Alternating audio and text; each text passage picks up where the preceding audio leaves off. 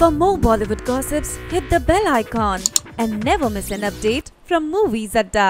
Hello friends welcome back to movies Adda दोस्तों बात मैं अगर करूँ नेहा पेन से की तो हाल ही में जब उनसे पूछा गया कि उन्हें क्या लगता है कौन सा एक कंटेस्टेंट है जो कि फाइनल्स में जा सकता है और जो फाइनल्स में जाना डिजर्व करता है तो इस पर जैसा कि हम सबने अज्यूम किया होगा आप कोई गेस करना चाहेंगे? एनी गेसेस नहीं, मैं बताती हूँ। सबको ये लग रहा था कि नेहा शायद दीपिका का नाम लेंगी, क्योंकि वो घर में सबसे ज़्यादा क्लोज दीपिका से हैं। लेकिन इसके टोटल ऑपोजिट जाकर नेहा नाम लेती हुई नज़र आई रॉमिल का। जी हाँ ये थोड़ा सा वियर्ड है, मुझे पर्सनली बहुत वियर्ड लगा।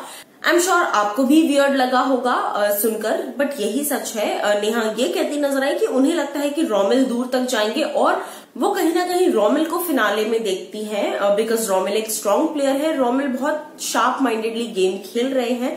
हालाँकि साथ में उन्होंने ये भी कहा कि दीपिका घर की कहीं ना कहीं मास्टरमाइंड है रोमिल के अलावा।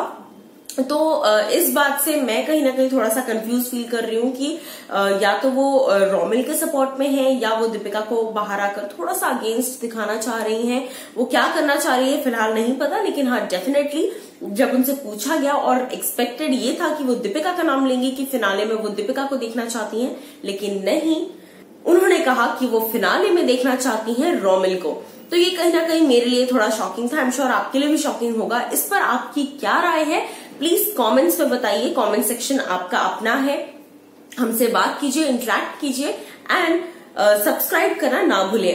ऑल्सो कमेंट करना भी बिल्कुल ना भूले। दिस इज़ ज्योति नाहक साइनिंग ऑफ़